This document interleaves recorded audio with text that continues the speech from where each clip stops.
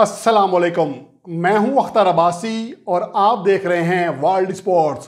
पाकिस्तान और न्यूजीलैंड की क्रिकेट टीमें ICC T twenty world cup 2021 के मैच में आज एक दूसरे के खिलाफ शारजा के मकाम पर मद्दे मुकाबले आ रही हैं।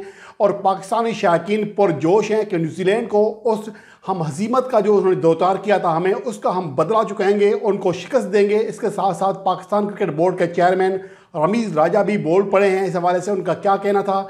इस पर बात करेंगे और उसके साथ साथ पाकिस्तान ने आईसीसी को भी चकरा दिया है। आईसीसी ने आज का मैच जो कि पाकिस्तान और न्यूजीलैंड के दरमियान है उसको आईसीसी के रैंकिंग सिस्टम में तक शामिल नहीं किया, उसकी क्या वजह बनी है, इसके बारे में क्या तफसीत हैं, वो भी आपके साथ शेयर करूँगा। और पाकिस्तान और न्यूजीलैंड के दरमियान मैच से पहले तरह तरह के मेम्स सोशल मीडिया पर गर्दिश कर रहे हैं, बड़े मज़ेदार हैं, वो भी आपके साथ शेयर करूँगा। कुछ तो ये भी कह रहे हैं कि अब उनके पास भागने का शायद कोई बहाना नहीं है, क्या पता मैच से एक घंटा पहले वो ये कह दें कि हम, हमें सिक्योरिटी का खदशा है, शारजा में हम नहीं खेलना चाह रहे और कुछ लोग ये भी कह रहे हैं कि न्यूजीलैंड टीम शायद इस बार सिक्योरिटी के बजाय रिजवान और बाबर आज़म को उससे ख़तरा करार देकर भाग ना जाए। तरह तरह के मैम्स बन रहे हैं, उस पर भी बात करेंगे इस रिपोर्ट में।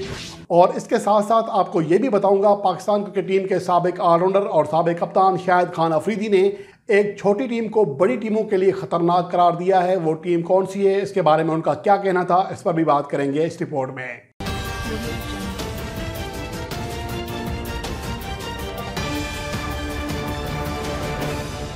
सबसे पहले बात करते हैं पाकिस्तान और न्यूजीलैंड के दरमियान आज शारजा में होने वाले मैच पर।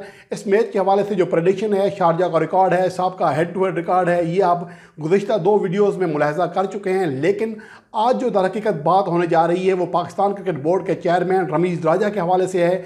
रमीज़ राजा ने कहा है कि हम न्यूजीलैंड के साथ भी कोई रियायत नहीं बरतेंगे। दरहकीकत रियायत तो कोई नहीं बरतता, लेकिन दरहकीकत उनका कहने का मकसद ये है कि हम पुरजोश हैं, हम न्यूजीलैंड को, हम वो चीज़ नहीं भूले जो उन्होंने हमें सितंबर में की थी हमारे साथ हमारे साथ जो उन्होंने खिलवाड़ किया था, अचानक टूर मनसूख किया था, हम वो चीज़ नहीं भूले।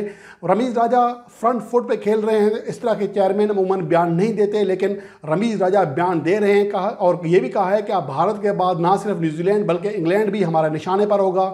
ये उनका कहना था। इंग्लैंड ने भी पाकिस्तान का टूर मनसूख किया था, जिसकी वजह से पाकिस्तानी कौम में, पाकिस्तान क्रिकेट बोर्ड में, पाकिस्तानी खिलाड़ियों में गम व गुस्सा पाया जाता है। लेकिन इसके साथ साथ कुछ पाकिस्तान के नाकदीन ये भी कह रहे हैं कि रमीज़ राजा चूँकि चेयरमैन है, अब उनको ये याद रखना चाहिए कि वो चेयरमैन है, इस तरह के बयान नहीं देने चाहिए। लेकिन मेरा ख्याल है ऐसा नहीं है। रमीज़ राजा पूरी तरह पाकिस्तान क्रिकेट टीम के साथ इन्वॉल्व हैं, पाकिस्तान की फ़तह के साथ खुश हो रहे हैं, बयान दे रहे हैं, हौसला बढ़ा रहे हैं, ऐसा नहीं होता मन ये हकीकत है। लेकिन ये कहना गलत है कि रमीज़ राजा गलत कर रहे हैं, बल्कि रमीज़ राजा को ऐसे भी बढ़कर करना चाहिए।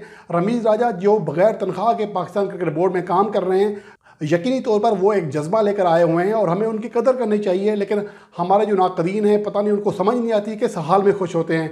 तनख्वाह ना लें तब भी खुश, कोई तनख्वाह ले तो कहते हैं बड़ी बड़ी तनख्वाहें ले रहे हैं। आप कोई बयान ना दे तभी कहते हैं हमारे चेयरमैन चुप हैं और बयान दे कह रहे हैं कि उनको अपनी लिमिट में रहना चाहिए। ये बातें मुझे समझ नहीं आती। हमारे जो क्रिकेट मुबसरीन हैं टी वी मुबसरीन हैं, ये क्यों इस तरह की सोच रखते हैं? उनकी जो थिंकिंग है, वो क्या, किस लेवल की थिंकिंग है? ये एक बड़ा अफसोसनाक सूरत हाल है।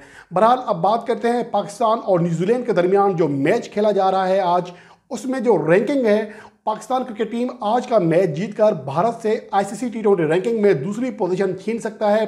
फ़िलहाल सिर्फ़ एक पॉइंट का फ़र्क है पाकिस्तान और भारत के दरमियान, क्योंकि गुजशत मैच जो कि अभी कल अपडेट होनी है रैंकिंग उसके मुताबिक पाकिस्तान ने दो पॉइंट हासिल किए थे भारत को शिकस्त देकर और पाकिस्तान के जो पॉइंट्स हैं मौजूदा वक्त में, वो दो सौ तिरसठ हैं, जो कि रिकॉर्ड में हैं, और भारत के जो रिकॉर्ड में हैं, वो दो हैं, जिसकी अपडेटिंग होनी है। ये अपडेट आपको वेबसाइट पर नहीं मिलेंगे, लेकिन ये रिकॉर्ड हो चुके हैं।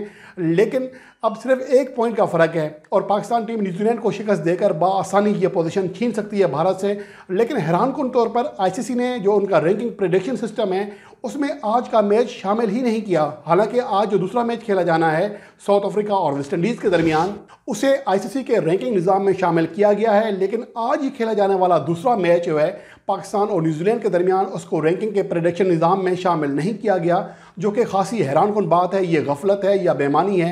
बहरहाल जो आईसीसी का रैंकिंग निज़ाम है, इसके हवाले से मुझे हमेशा ही तहफ़ात रहते हैं। इसमें कोई ऐसी चीज़ें हमेशा रूनमा होती हैं, जिसमें शक की बू जो है सामने आती है।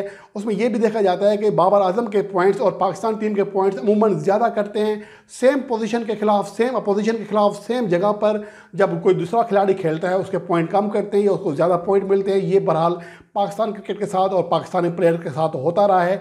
अब देखना यह है कि कल जब आईसीसी अपनी रैंकिंग जारी करेगा उसमें पाकिस्तान टीम किस पोजीशन पर खड़ी होगी? अल्लाह करे पाकिस्तान टीम जीत जाए न्यूजीलैंड से। उसके बाद अगर पाकिस्तान टीम की रैंकिंग ऊपर नहीं होती तो इसका वाज मतलब होगा जो आज पाकिस्तान का मैच निकाला गया है रैंकिंग निज़ाम से। इसका वाज मतलब ये होगा कि ये चीटिंग हो रही है पाकिस्तान क्रिकेट टीम के साथ। ये इसका और कोई मतलब हो नहीं सकता, क्योंकि आज आखिरी दिन है। इस हफ़्ते की रैंकिंग अपडेट में आज के मैच शामिल किए जाएँगे और कल रैंकिंग अपडेट आ जाएगी एक बजे तक। तो आज का जब एक मैच जो कि वेस्ट इंडीज़ और साउथ अफ्रीका का है, उसको शामिल किया जा सकता है तो फिर दूसरा मैच शामिल क्यों नहीं किया जा सकता? बहरहाल ये गफलत नहीं है, ये एक सोची समझी साजिश भी हो सकती है।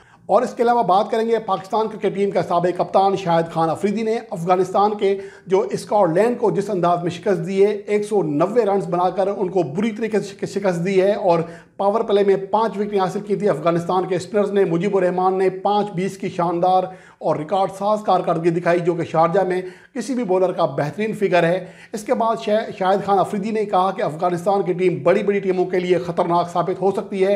अब बड़ी टीमों को भी अफ़गानिस्तान से मोहताज रहना पड़ेगा। जिनके पास बेहतरीन बैट्समैन मौजूद हैं, बेहतरीन स्पिनर मौजूद हैं, उनका स्पिन अटैक जो है वो बहुत ख़तरनाक है। ये शायद खान अफरीदी का कहना था, उनका कहना था कि ये जो अफ़गानिस्तान की टीम है, या उसका पाकिस्तान के ग्रुप में अफ़गानिस्तान की टीम है, यकीनी तौर पर पाकिस्तान का जो अगला मैच है, न्यूजीलैंड के बाद वो अफ़गानिस्तान से ही है। और शायद अफरीदी का भी इस जानब इशारा था कि अफ़गानिस्तान को अब आम टीम समझना या कमज़ोर समझना गलती होगी, और दुनिया की बड़ी जो टीमें हैं, उनके लिए अफ़गानिस्तान की टीम ख़तरा बन सकती है।